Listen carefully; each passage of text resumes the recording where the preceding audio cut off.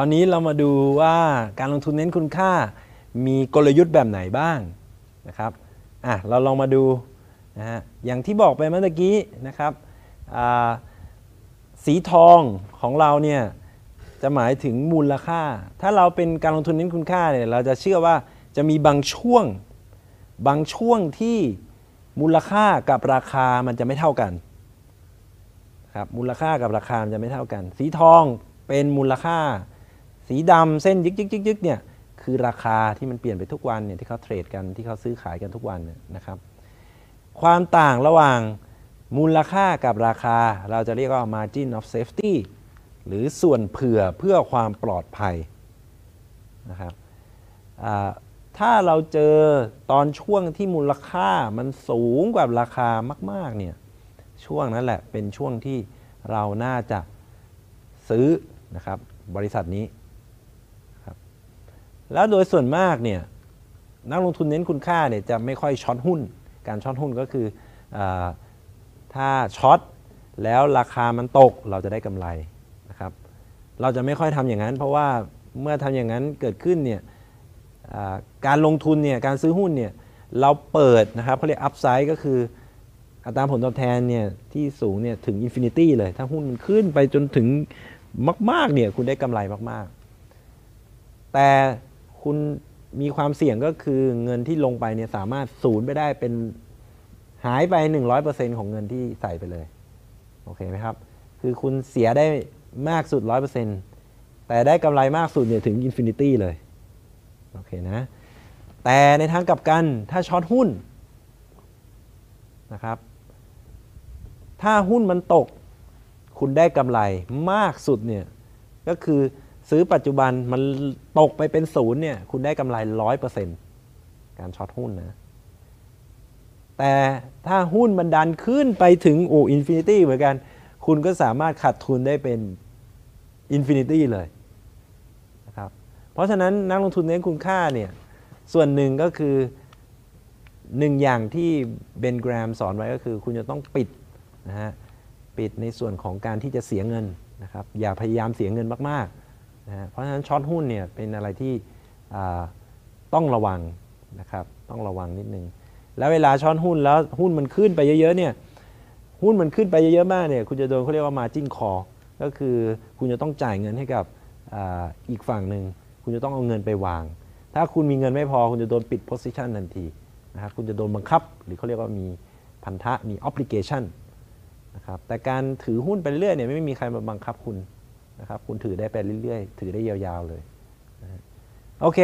เรามาดูที่การลงทุนเน้นคุณค่านะครับ แบบแรกนะครับเนี่ยนี่ก็คือสิ่งที่เราต้องการที่อยากให้มันเป็นเลยก็คือเออให้มันมี margin of safety นะครับ margin of safety นะครับก็คือราคาเนี่ยมันต่ำกว่ามูลค่าที่แท้จริง มูลค่ามันก็อาจจะขึ้นขึ้นลงลงแต่โดยเฉลี่ยก็อาจจะขึ้นไป เราซื้อได้สมมุติมันอยู่ที่ 10 เราซื้อได้ 3 นะครับ มันขึ้นไปเป็น 15 3 ขึ้นไปเจอมูลค่าที่แท้จริงของมันที่ 15 ก็อาจจะได้กำไร 5 เท่าแล้วนะครับ นี่ก็คือไอเดียของ value investing หรือ VI ในปัจจุบันเนี่ยวอร์เรนบัฟเฟตชอบซื้อหุ้นประมาณนี้เขาบอกว่า it's far better to buy a wonderful company at a fair price than a fair company at a wonderful price นะครับเขาพูดประมาณนี้ก็คือ มันดีกว่าที่จะซื้อหุ้นนะครับที่ราคาที่ยุติธรรม หรือราคาที่ใกล้เคียงกับ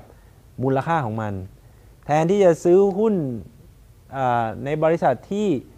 ธรรมดาแต่ราคาสุดยอดก็คือราคาถูกมากนะครับ ก็จะเป็นรูปตามนี้ก็คือ คุณก็ยังสามารถได้กำไรได้นะฮะ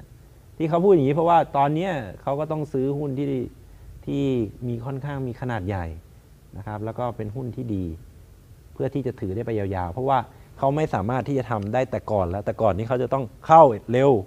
แล้วก็ออกเร็วสามารถทำได้ แต่เดี๋ยวนี้ไซส์ของเขามันใหญ่มาก ขนาดของบริษัทเขามันใหญ่มาก เวลาเขาเข้าทีนึงออกทีนึงในหุ้นเนี่ยราคามันก็จะเด้งขึ้นไปด้วย เพราะว่าขนาดของเขามันใหญ่มาก เวลาซื้อทีหนึ่งเนี่ยราคามันก็สามารถพุ่งขึ้นได้เยอะนะครับเขาก็อาจจะไม่ได้กำไรถ้าเกิดทำแบบนั้น เพราะฉะนั้นเขาก็วิธีการก็คือจะต้องซื้อแล้วก็ถือไปยาวๆ ซึ่งก็สามารถได้กำไรเหมือนกัน ถ้าบริษัทนั้นเป็นบริษัทที่ดี รูปเนี่ยที่ผมให้มาก็คือเราจะแอดซูมนะครับตกลงกันว่าเป็นหุ้นที่ไม่จ่ายปันผลนะครับ ก็คือเป็นหุ้นที่มีปันผลปุ๊บเอาไปลงทุนต่อนะฮะเพื่อที่จะได้บอกว่ามูลค่าของมันเพิ่มขึ้นเรื่อยๆนะฮะนี่ก็เป็นบริษัทที่ได้ อาจจะ ROE Return on Equity เพิ่มขึ้นสูงเรื่อย ๆ ทุกปี มีอัตราการเติบโตที่ดีมากนะครับ ถ้าคุณซื้อไม่ต้องซื้อที่ถูกมากก็ได้ คุณซื้อที่ใกล้เคียง แต่ก็ถูกหน่อยนึงนะฮะ แล้วมันก็ขึ้นไปตามมูลค่าของมันเรื่อยๆนะครับ คุณก็ยังได้กำไรอยู่นะมีมีงานวิจัยออกมาล่าสุดนะครับบัฟเฟตก็ถ้าเทียบกับในอดีตก็ไม่ได้ ไม่ได้อัตราผลตอบแทนที่สูงเท่ากับในอดีตโดยเฉลี่ยนะครับ แต่ก็ยังได้อัตราผลตอบแทนที่ค่อนข้างดีนะครับแล้วเขาก็ใช้เงินจากการที่ทำธุรกิจประกันภัยด้วยนะครับ ซึ่งเป็นเงินในส่วนที่ลูกค้าจ่ายมาให้ เป็นเงินส่วนนั้นเนี่ยเอาเงินส่วนนั้นไปลงทุนต่อ ก็ยิ่งได้กำไรที่มีอัตราทดเพิ่มขึ้นด้วยนะครับ เพราะฉะนั้น วอร์เรนบัฟเฟตก็เลยบอก อ้าว ซื้อหุ้นที่ดีไปเลย แล้วก็ถือระยะยาวไปเลย ก็สามารถได้กำไรเหมือนกัน ไม่ต้องซื้อที่มันถูกมากนะครับ อ้าว ดูต่อต่อไป อันนี้คือสิ่งที่ VI ไม่ควรทำนั่นก็คืออะไร เป็นหุ้นที่ดีมากเช่นเดียวกัน มูลค่าเพิ่มขึ้นตลอดเลยนะครับ มีความสามารถในการแข่งขันอะไรก็ว่าไป มูลค่าเพิ่มขึ้นทุกปีเลยนะครับ มูลค่าเพิ่มขึ้นทุกปี แต่ประเด็นคือเราซื้อเวลาที่ราคามันแพงเกิน เห็นไหมราคามันแพงเกิน พอราคามันแพงเกินแล้วเป็นอย่างไร จะเห็นได้ว่า โอ้หุ้นบริษัทนี้ดีมากๆเลย แต่ซื้อที่แพงเกิน ราคามันก็ไม่ค่อยขยับนะครับราคามันก็อาจจะไม่ค่อยขยับ มันก็เป็นไปตามมูลค่านะครับ มันก็วิ่งไปหามูลค่าของมันประมาณสมมติ ซื้อ 5 ปีให้หลังราคาไม่ได้ขยับไปไหนเลย เพราะว่าตอนที่ซื้อเนี่ยมันแพงมากๆ PE สมมุติ PE อาจจะเป็นร้อยหนึ่งร้อยครับซื้อมาเพราะว่านักลงทุนคาดว่าบริษัทนี้มันต้องเติบโตสุดยอดนะครับ แต่พอซื้อไปปุ๊บเริ่มเติบโตไม่เท่ากับที่คิดไว้ตั้งแต่แรก เพราะฉะนั้นคุณซื้อหุ้นที่แพงๆ มากๆ มูลค่าเพิ่มขึ้นไปก็จริงไม่มี margin of safety คุณก็อาจจะไม่ได้กำไรก็ได้นะครับ การลงทุนแบบเน้นคุณค่าเนี่ยคือการพยายามปิดความเสี่ยงขาลงให้ได้มากที่สุด พยายาม protect นะครับหรือป้องกันความเสี่ยง downside risk ความเสี่ยงขาลง การซื้อหุ้นที่ถูกๆเนี่ยก็เป็นการที่ปิดความเสี่ยงขาลงได้ในระดับหนึ่งแล้ว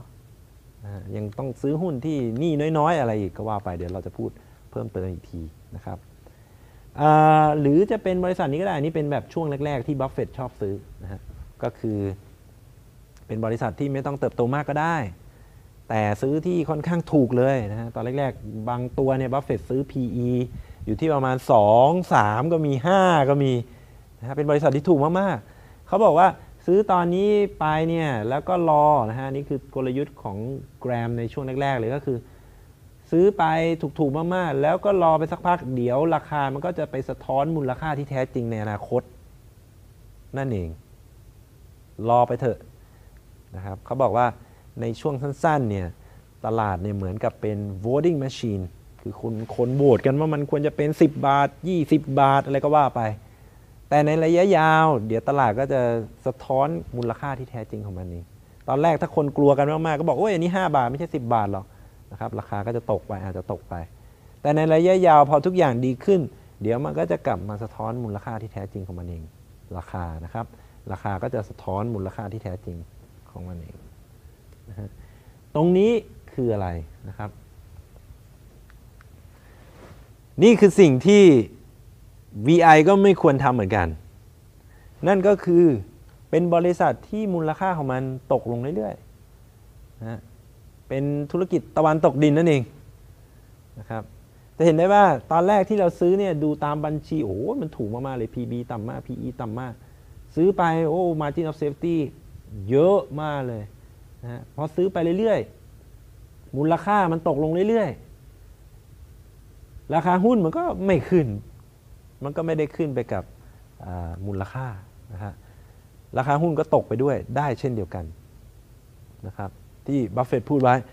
I would never spend a lot of time valuing a declining business the same amount of energy and intelligence brought to other business is just going to work out better เขาบอกว่าอ่าความผิดพลาดของเขาใหญ่หลวงที่สุดในชีวิตเนี่ยหนึ่งในชีวิตเขาเลยเนี่ยก็คือการที่เขาลงทุนใน Berkshire Hathawayในช่วงแรกนั่นเอง ซึ่งเป็นบริษัทที่ตอนนี้เขายังบริหารอยู่นะฮะ ก็คือช่วงแรกเนี่ย Berkshire Hathaway เป็นบริษัทที่ทอผ้านะครับ แล้วตอนนั้นก็คือ พูดง่ายๆ เป็นตะวันตกดินน่ะเพราะว่าสู้กับบริษัททางอังกฤษไม่ไหว เนื่องจากต้นทุนสูงกว่าเขานะครับก็ต้องปิดตัวไปเรื่อยๆ ปิดตัวไปเรื่อยๆบัฟเฟตก็พยายามเอาเงินที่ได้จากการทอผ้าเนี่ยได้กำไรเนี่ยเอาไปซื้อบริษัทอื่น ไปซื้อเนบ a สกาเฟอร์นิเจอร์มาร์ไปซื้อบริษัทประกันนะครับเพื่อที่จะเอาเขาเรียกอะไรเงินต่อเงินเอาเงินเนี่ยไปลงทุนในธุรกิจที่ดีกว่า นะครับเพราะฉะนั้นเขาเลยบอกว่าต่อไปกลยุทธ์ในการที่จะสร้างบริษัทของเขาไม่ใช่การไปซื้อเออบริษัทที่ถูกอย่างเดียว จะต้องซื้อบริษัทที่มันจะดีขึ้นไปเรื่อย ๆ ด้วย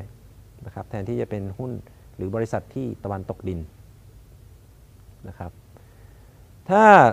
ที่ผมชอบบอกก็คือเป็น perfect VI perfect เลยก็คืออะไร ก็คือเราจะต้องซื้อหุ้นที่บริษัทที่ นะฮะมีการเติบโตไปเรื่อยๆอันนี้แบบปีเตอร์ลินช์ด้วยนะครับเข้ามาเรื่อยๆก็คือมันจะเติบโตไปเรื่อยๆ แล้วก็ทำไมครับมมูลค่ากับราคาต่างกันด้วย คือคุณจะต้องซื้อตอนที่มันถูกด้วย อันนี้คือตอนเพอร์เฟกเลย ซื้อตอนที่มันถูก มันจะเติบโตในอนาคตด้วย แล้วเดี๋ยวราคามันจะไปสะท้อนกับมูลค่าของมันนะครับ นี่คือ เป็นแบบ perfect เลย คือ 1. เราจะได้ผลตอบแทนจากการที่บริษัทมันมีมูลค่าสูงขึ้นไปอันนั้น 1 อย่างที่เราจะได้ 2. เราจะได้จากการที่ราคามันถูก เราจะได้จากช่องว่างตรงนี้อีกด้วยเห็นไหมฮะเราได้ 2 ต่อเลย เพราะฉะนั้นลงทุนแบบเน้นคุณค่าให้ดีจะต้องให้บริษัทที่มันเติบโตในอนาคต แล้วก็ราคาที่ถูกเพื่อที่จะได้เพิ่มขึ้นไปนะฮะสูงขึ้นไปอีก บริษัทพวกนี้ก็สามารถยังสามารถหาได้นะครับ เป็นบริษัทอย่างเช่น บริษัทเล็ก ๆ ที่ไม่ค่อยมีคนสนใจนะครับ อย่างบางบริษัทที่ผมเคยไปลงทุนในสิงคโปร์อย่างเงี้ยบางบริษัทเล็กแล้วเล็กๆนะฮะแบบว่าไม่ค่อยมีคนสนใจ พอซื้อไปนะครับพอสักพักหนึ่งคนเริ่มรู้ว่าเฮ้ยบริษัทนี้มันดีนะครับราคามันก็จะเริ่มเพิ่มขึ้นไปนะครับการลงทุนเน้นคุณค่าในแบบต่างๆ